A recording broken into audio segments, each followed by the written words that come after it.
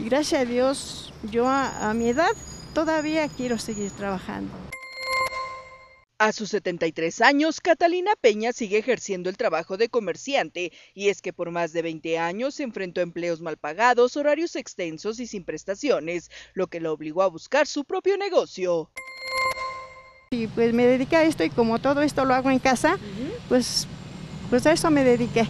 Y ya. Era más fácil estar Era más fácil estar en casa, yo los vigilaba, los atendía.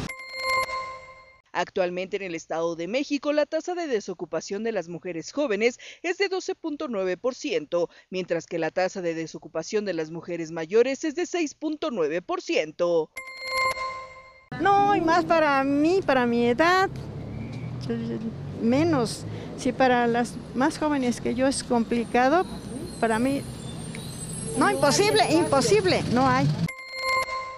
De las 7.2 millones de personas económicamente activas que hay en la entidad mexiquense, 2.6 son mujeres, lo que representa que la tasa de participación laboral que tienen ellas es de 38.9% frente al 71.9% que ocupa la tasa masculina. Con imágenes de Armando Medina para Mega Noticias, Claudia Rodríguez.